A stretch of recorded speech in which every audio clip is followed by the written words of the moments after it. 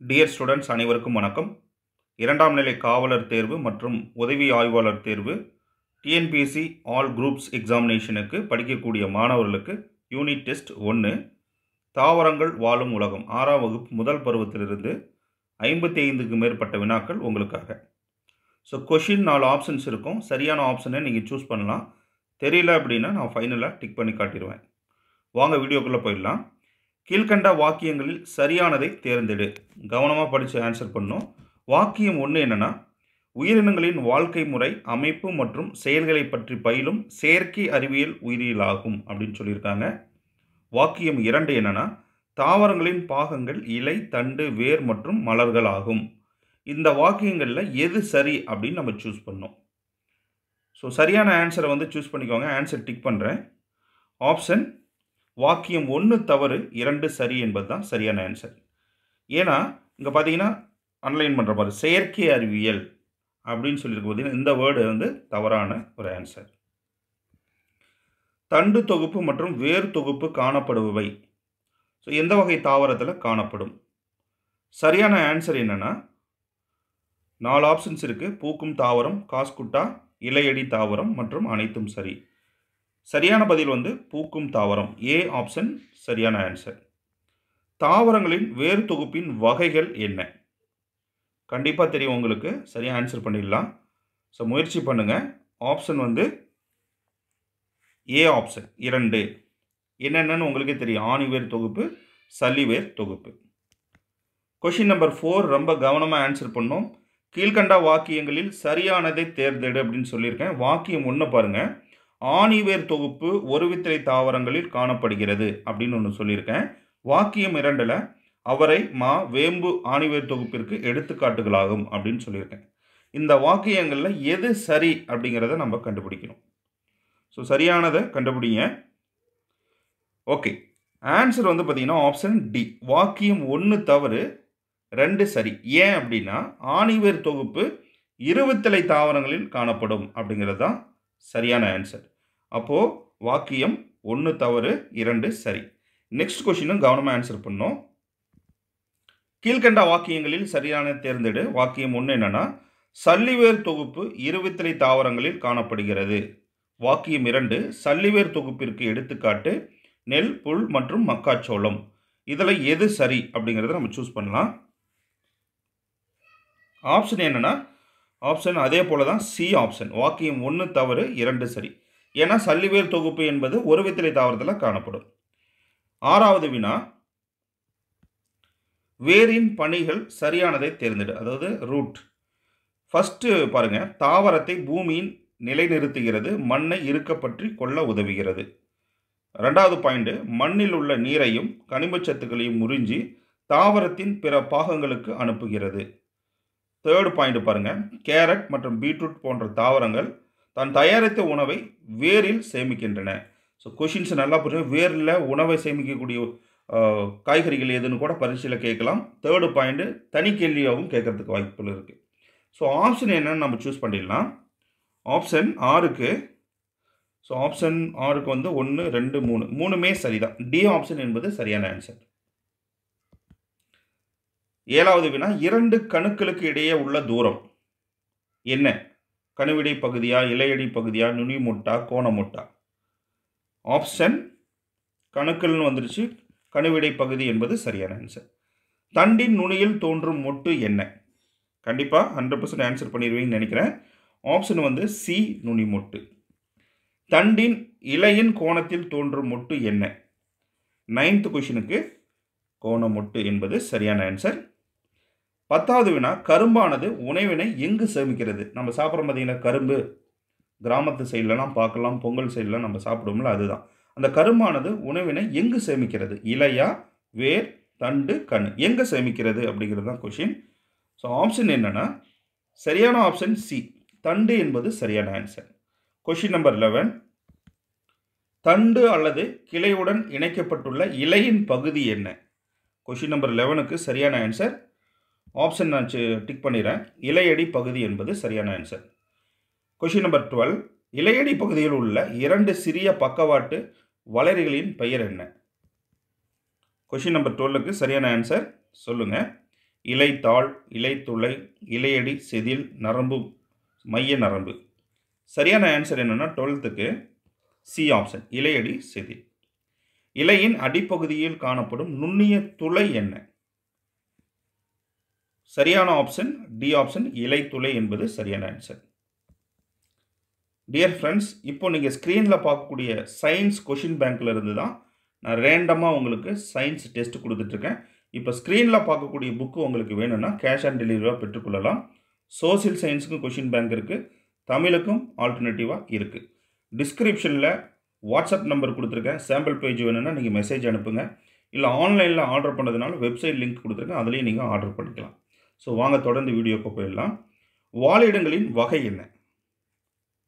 வாழிடங்கள் option A option வினா எண் பதினஞ்சு. நீர் வாழிடத்தின் வகை என்ன அப்படின்னு ஒரு கொஷின் ஆப்ஷன் அதுவும் இரண்டு தான்.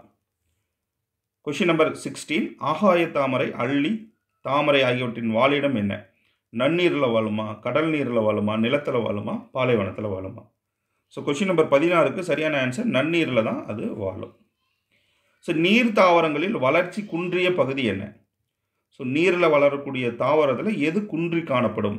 குறைவாக இருக்கும். அதுதான் கொஷின் சரியான ஆன்சர் என்னென்னா ஆப்ஷன் டி வேறு தான் அதனுடைய குன்றிய பகுதி. பூமியின் மேற்பரப்பானது கடல் நீரினால் சூழப்பட்டுள்ள சதவீதம் என்ன? நம்ம பூமியோடைய மேற்பரப்பானது கடல் நீரினால் சூழப்பட்ட சதவீதம். நமக்கு தெரியும் ஸோ மூணில் ஒரு பங்கு நீரானது பூமியை சுற்றி இருக்குது அப்படின்னு தெரியும். எவ்வளோ பர்சன்டேஜ் அப்படின்னு கேட்டால் option C seventy one percentage உலகில் உள்ள நில வாழிடங்களின் சதவீதம் என்ன? நில வாழிடங்களின் சதவீதம் என்ன? சரியான ஆன்சர் ஆப்ஷன் பாருங்கள் பதினாறு பர்சன்டேஜ் இருபத்தி ஒன்பது பர்சன்டேஜ் முப்பத்தி மூணு பர்சன்டேஜ் அப்படின்னு கொடுத்துருக்கேன். ஆப்ஷன் பி இருபத்தி ஒன்பது சதவீதம். ஓகேங்களா ஏன்னா எழுபத்தி ஒரு சதவீதம் வந்து கடல் நீர் சூழ்ந்துள்ளது. நில வாழிடங்கள் டுவெண்ட்டி நைன் ரெண்டையும் கூட்டினீங்கன்னா ஹண்ட்ரட் பர்சன்ட் வந்து கவர் ஆகும். பூமியில் மொத்த ஒளிச்சேர்க்கையில் சுமார் எத்தனை சதவீதம் கடல்வாழ் தாவரங்களில் நடைபெறுகிறது? சரியான ஆப்ஷன் ஆப்ஷன் சி நாற்பது சதவீதம். வாக்கியம் ஒன்று வாக்கியம் ரெண்டு கொஷின் நம்பர் டுவெண்ட்டி ஒன் கடல் நீர் வாழிடத்திற்கு எடுத்துக்காட்டு கடல் பாசிகள் கடல் புற்கள். வாக்கியம் இரண்டு பாருங்கள் நிலவாழிடங்களின் வகைகள் மூன்று வகைப்படும் அப்படின்னு சொல்லியிருக்காங்க. இதில் எந்த வாக்கியம் சரி? வாக்கியம் ஒன்று சரியா அல்லது ரெண்டு சரியா? அப்படின்னு பார்த்தோம்னா ஆப்ஷன் பி இரண்டுமே சரிதான். நிலவாழிடங்களின் வகைகளில் சரியானது என்ன? காடுகள் புல்வெளிகள் பாலைவனங்கள் அனைத்தும் சரின்னு கொடுத்துருக்கேன். சரியான ஆன்சர் என்னென்னா ஆப்ஷன் டி அனைத்தும் சரி என்பது சரியான பதில். மனிதனால் உருவாக்கப்பட்ட நிலவாழிடங்களில் தவறானது எது? தவறானது அண்டர்லைன் அது கவனமாக ஆன்சர் பண்ணும். காடு பண்ணை மாநகரம் நகரம். இதில் தவறானது என்ன? ஸோ கொஷின் நம்பர் டுவெண்ட்டி த்ரீக்கு காடு தான் மனிதனால் உருவாக்கப்பட்ட நிலவாழிடங்கள் தவறானது அப்படின்னு நம்ம தெரிஞ்சுக்கணும். கொஷின் நம்பர் டுவெண்ட்டி ஃபோர் நிலவாழிடங்களில் தவறானது என்ன?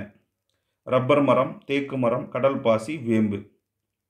ஆப்ஷன் கண்டிப்பாக ஆன்சர் பண்ணியிருப்பீங்க கடல் பாசி என்பது கடலில் வாழக்கூடிய ஒரு உயிரினம் பாலைவனத்தின் ஆண்டின் சராசரி மழையளவு டேஷ் சென்டிமீட்டருக்கு குறைவாக இருக்கும். வெரி வெரி இம்பார்ட்டண்ட் பாலைவனத்தில் ஆண்டின் சராசரி மழையளவு எவ்வளோ சென்டிமீட்டருக்கு குறைவாக இருக்கும்? சரியான ஆன்சர் என்னென்னா ஆப்ஷன் பி ஆப்ஷன் இருபத்தி அஞ்சு சென்டிமீட்டருக்கு குறைவாக. பூமியில் உள்ள பாலைவனங்களின் சதவீதம் எவ்வளோ ஸோ டோட்டலாக எடுத்துக்கணும் டுவெண்ட்டி பர்சன்டேஜ் வந்து பாலைவனங்கள் காணப்படுகிறது. பாலைவன தாவரங்களில் தவறானது என்ன? ஸோ இது ரொம்ப இம்பார்ட்டண்ட் அகேவ் சோற்று கற்றாழை சப்பாத்தி கள்ளி சவானா பிரயோப்பிலம். இதில் தவறானது எது அப்படின்னு நம்ம கண்டுபிடிக்கணும். சரியான ஆன்சர் என்னென்னா சவானா. இது வந்து ஆக்சுவலாக ஒரு புல்வெளி அப்படின்னு சொல்லுவாங்க. கொஷின் நம்பர் டுவெண்ட்டி எயிட் பாலைவன வாழிடங்களின் வகைகளில் சரியானது என்ன?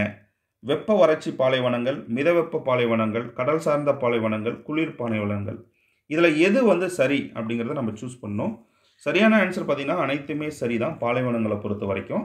நெக்ஸ்ட் கொஷின் பார்த்துடலாம். காடுகளின் வகைகளில் சரியானது. வெப்பமண்டல காடு குளிர் பிரதேச காடுகள் மலைக்காடுகள் எப்படிலாம் சொல்லுவாங்க? இந்த காடுகள் எல்லாமே இந்த வகைகளில் சொல்லுவாங்க. அப்போ ஆப்ஷன் வந்து டுவெண்ட்டி நைனுக்கு நம்ம கண்ணை மூடிட்டு ஆன்சர் அனைத்தும் சரின்னு சொல்லிடலாம். காடுகளின் ஆண்டு சராசரி மலை அளவு என்ன? கொஷின் நம்பர் தேர்ட்டி இருபத்தி அஞ்சு சென்டிமீட்டர்லேருந்து இரநூறு சென்டிமீட்டர் அளவில் இருக்கும் அப்படின்னு சொல்லியிருக்காங்க. மெலிந்த தண்டின் மாற்றுரு என்ன? கொஷின் நம்பர் தேர்ட்டி ஒன் சரியான ஆன்சர் மெலிந்த தண்டின் மாற்றுரு. அதற்கு வந்து பி ஆப்ஷனை பற்று கம்பி அப்படின்னு சொல்லுவாங்க. சங்குப்பூ மற்றும் மல்லிகை எதற்காக எடுத்துக்காட்டாக சொல்லப்படுகிறது? Question number thirty two very important answer வந்து இது பின்னு கொடிக்கு எடுத்துக்காட்டாக சொல்லப்படும். இனிப்பு பட்டாணியின் சிற்றிலைகள் டேஸாக மாற்றியுள்ளது. சாரி இனிப்பு பட்டாணியின் சிற்றிலைகள் டேஸாக மாறியுள்ளது கொஷின் நம்பர் தேர்ட்டி த்ரீக்கு பற்று கம்பியாக மாறியுள்ளது என்பது சரியான answer question number thirty four பாகற்காயின் கோணமொட்டு டேஸாக மாற்றம் அடைந்து உள்ளது. கொஷின் நம்பர் தேர்ட்டி ஃபோருக்கு அது ஆக்சுவலாக பாகற்காய் உங்களுக்கே தெரியும் கிராமத்தில் இருக்கிறவங்களுக்கு பற்று கம்பியாக மாற்றம் அடைந்துள்ளது கூர்மை மற்றும் கடினமான தண்டின் மாற்றுரு என்ன? ஆப்ஷன் முற்கள் முள்ளுன்னு சொல்கிறோம் பார்த்தீங்களா அதுதான்.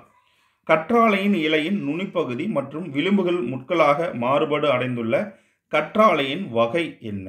அப்படின்னு ஒரு கொஷின் கொஷின் நம்பர் தேர்ட்டி சிக்ஸுக்கு ரயில் கற்றாழை அப்படிங்கிறத நம்ம சொல்லலாம். ரயில் கற்றாழை என்பது என்ன?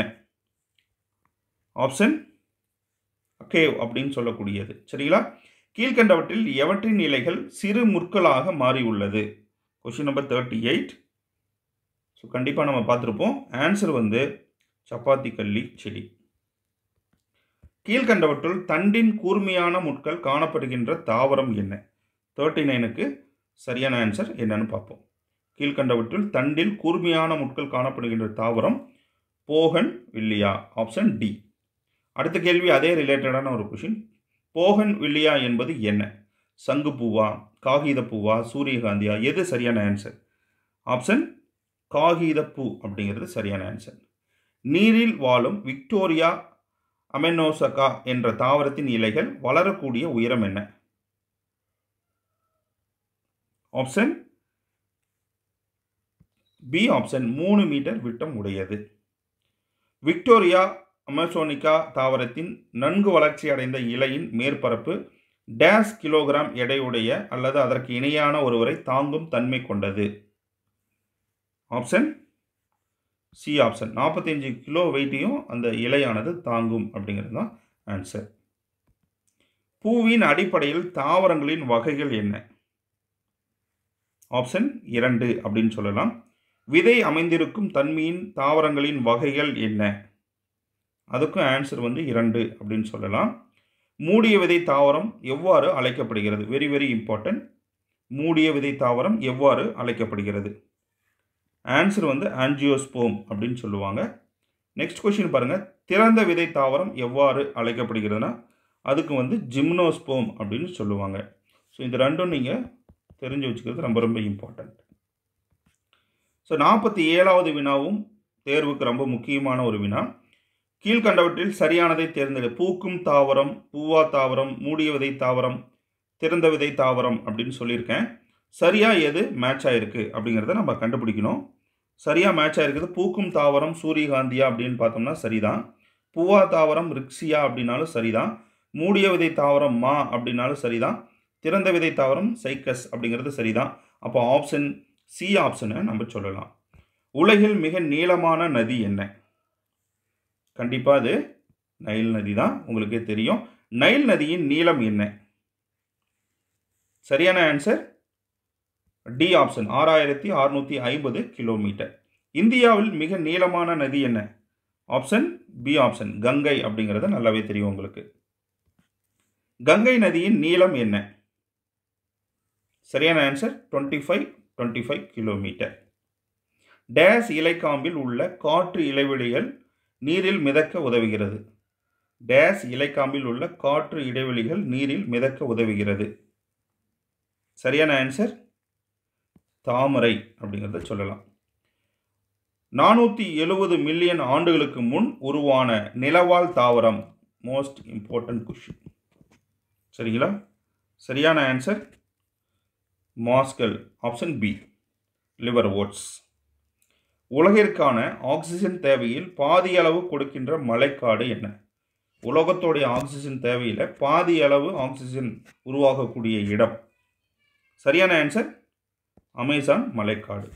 அமேசான் மலைக்காடுகள் தென் அமெரிக்காவில் இருக்கக்கூடிய ஒரு வகையான அடர்ந்த காடு.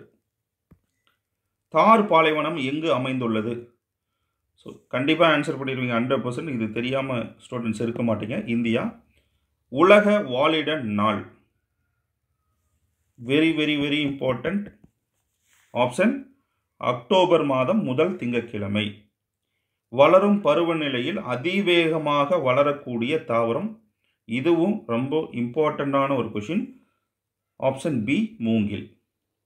டியர் ஃப்ரெண்ட்ஸ் இப்போ நீங்கள் எழுதின இந்த கொஷின்ஸ் எல்லாமே நம்மளுடைய SS publication science question bank அப்படிங்கிற புக்கில் இருக்குது நான் வந்து முழுமையாக உங்களுக்கு ஒரு ப்ரூஃப் காட்டியிருக்கேன். புக் பேக் கொஷின்ஸ் இந்த இதில் சேர்த்தலை நான். இது வந்து பார்த்திங்கன்னா பாக்ஸ் கொஷின் அண்டு புக்குக்குள்ளே இருக்கக்கூடிய கொஷின் பாக்ஸ் கொஷின் நம்மளுடைய புக்கில் இடம்பெற்றிருக்கு. இந்த மாதிரி நீங்கள் ஒவ்வொரு பாடத்தையும் நீங்கள் யூனிட் வைஸாக கம்ப்ளீட் பண்ண முடியும். சோசியல் சயின்ஸு இதே போல் தான் சோசியல் சயின்ஸை பொறுத்த வரைக்கும் ஆறுலேருந்து பத்தாவது வரைக்கும் நூற்றி முப்பத்தி நாலு லெசன் இருக்குது அந்த நூற்றி முப்பத்தி நாலு லெசன்லேருந்து உங்களுக்கு பதினோராயிரம் வினாக்கள் ஃப்ரேம் பண்ணியிருக்கேன். அதே போல் சயின்ஸில் பத்தாயிரம் வினாக்கள். பொது தமிழை பொறுத்த வரைக்கும் ஆறாவதுலேருந்து பன்னிரெண்டாம் வகுப்பு வரைக்குமே நான் ஃப்ரேம் பண்ணியிருக்கேன். தமிழ்நாட்டில் வேறு எங்கேயுமே கிடைக்காது.